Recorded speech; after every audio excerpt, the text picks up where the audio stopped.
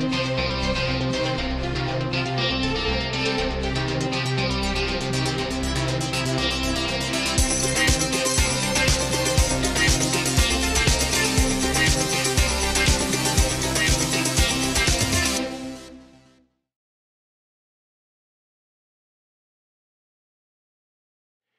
everybody. Welcome to Wine World TV, the best wine show anywhere. I'm your host, Mark Fusco. Before we get started, make sure you're smashing that like button and subscribing to the channel. Every like and subscription helps build the channel. Even better, spread the word to your friends about, well, the best wine show anywhere. All right, so many, many months ago, I got six Chilean cabs from my good friends at Creative Palate to review. This will be the third of six reviews about them. If you want to know more about Chilean wine in general, then please check out the first video in this series. And of course, this is a free sample provided to me. Neither Creative Palate nor the winery control how I review the wine or what I say. Today's wine is from TerraNoble. We are staying in the Colchagua Valley. The winery was founded in 1993 by a group of people led by Jorge Elgueta in the Maule Valley or the Val de Maule, near the city of Talca. I don't know who he is, I did find out Jorge Elgueta that was on the Olympic volleyball team for Argentina and went to the 1996 and 2004 Summer Olympics. Maybe it's the same person. I don't know. It's the wrong country, but he's like the only one that really comes up in a search. So anyway, the winery was originally dedicated to Merlot. The following year in 1994, they figured out that most of the Merlot in Chile was actually Carmenere. They are related and look similar. From that point on, they concentrated on Carmenere, the winery did. Well, actually, Chile did. Obviously, they do more than Carmenere. It appears their flagship wines are two different ones, one from the Andes region and the other from the Costa region of Colchagua. It looks like they own four vineyards throughout Chile with a total planted of about 300 hectares. The Algarrobo vineyard in Casablanca, Los Lingues and Los Cactus vineyards in the eastern and western parts of Colchagua Valley, respectively. And what I'm guessing is the vineyard the estate is on, La Higuera vineyard. They mention both being in the San Clemente district, and there is a large vineyard there that I mapped to be almost exactly the acreage under vine they listed. I'm using their map instead of Google Earth Pro since I can't find the exact locations of the vineyards. As far as this wine, it comes from the Colchagua Valley, from two places. 70% comes from a vineyard in Los Lingues. This is actually a pretty small sub-DO. It's part of the Andes zone, so it appears not all the wines from this series are 100% Entre Cordilleras wines.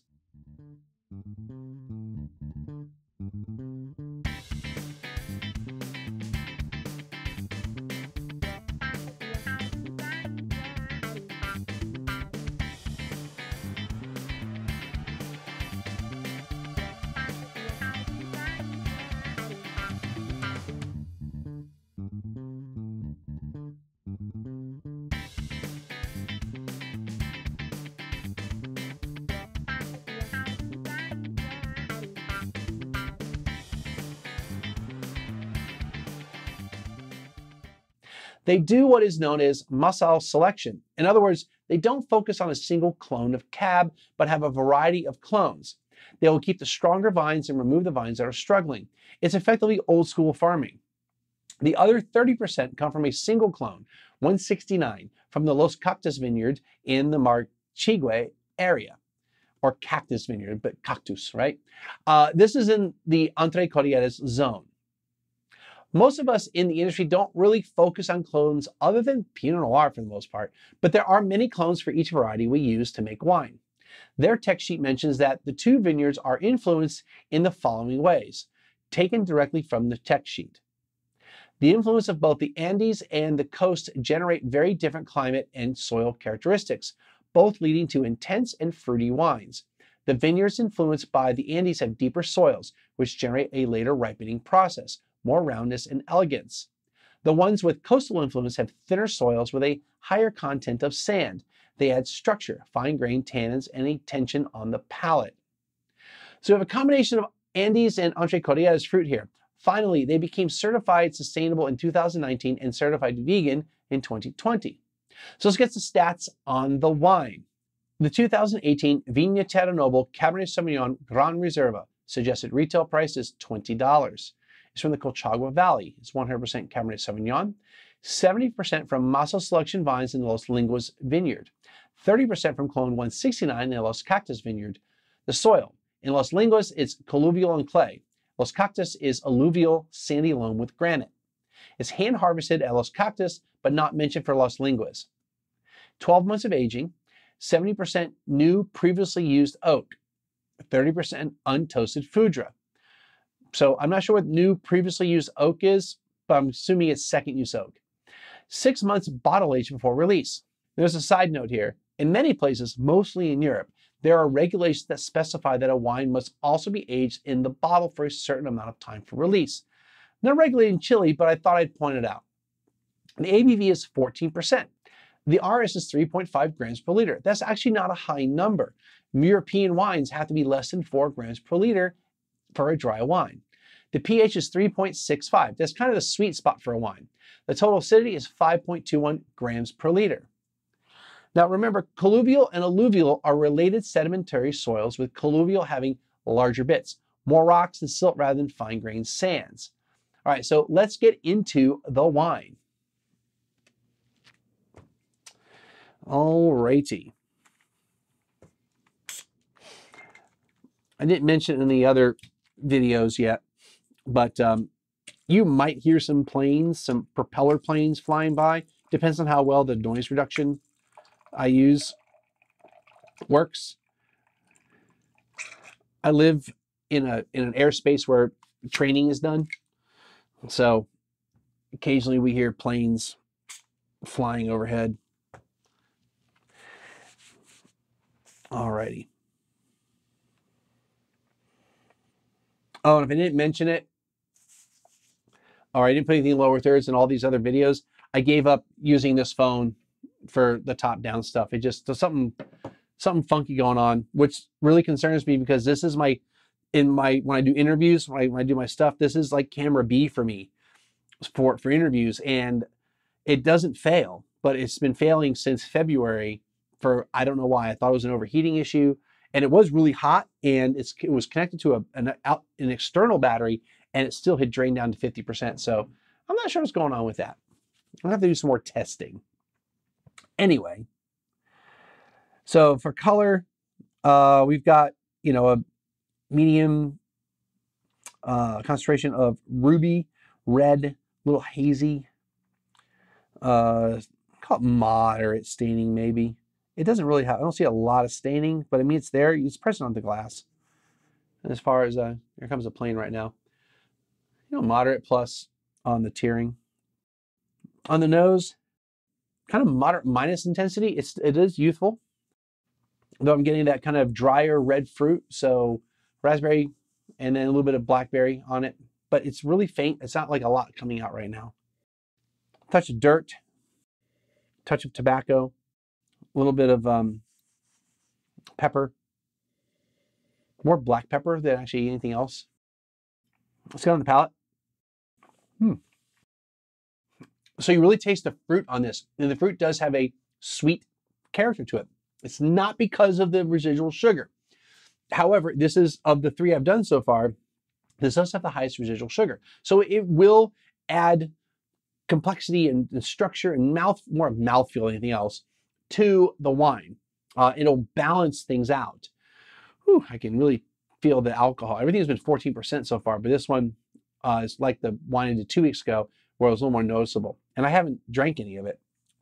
But with that said, uh, the red fruit is more of a riper, more ripe in nature, and it's it's got that um, raspberry. It's also got some blackberry to it, a little more ripe in nature, a little strawberry, but not a ton of it a little cranberry-ish.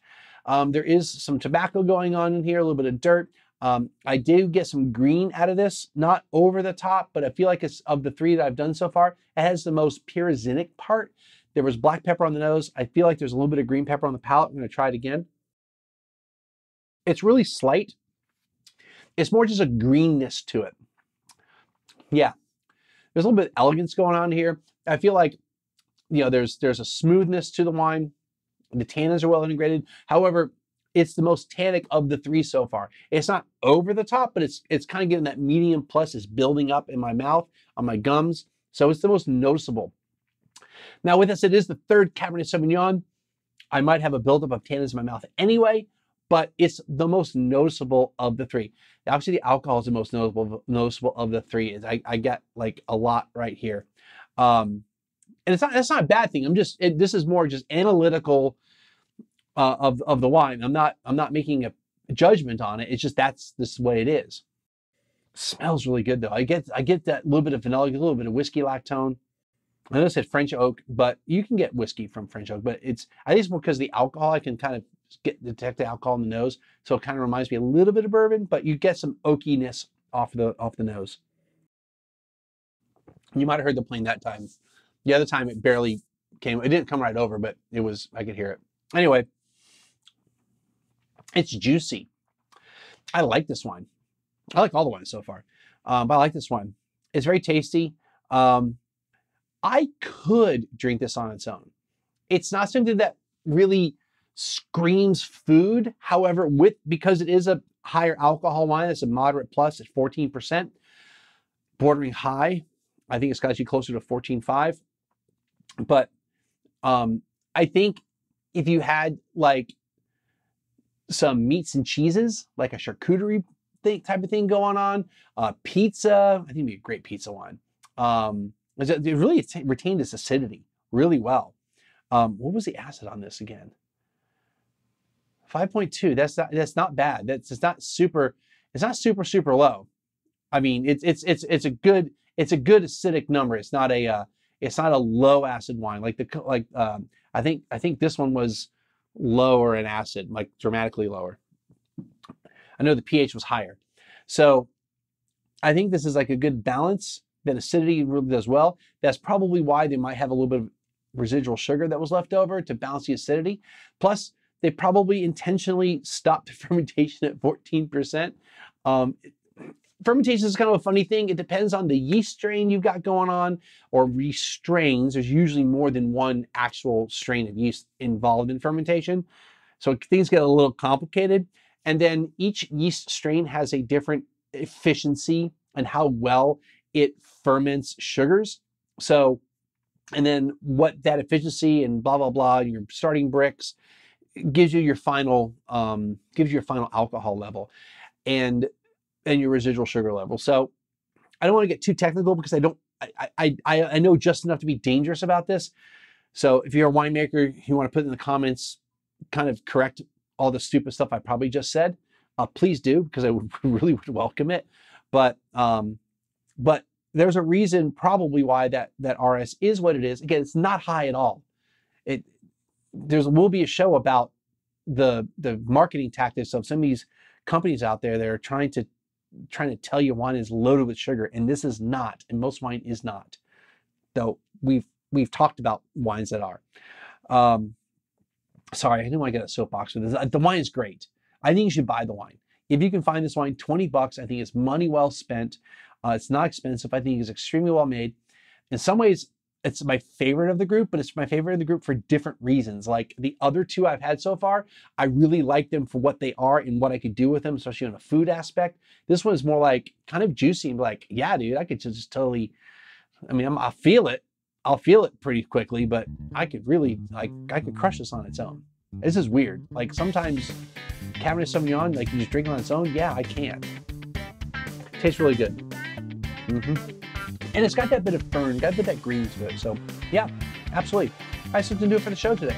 If you enjoy what I'm doing here, make sure you hit the like button and subscribe. And then tell all your friends. And we'll see you next time.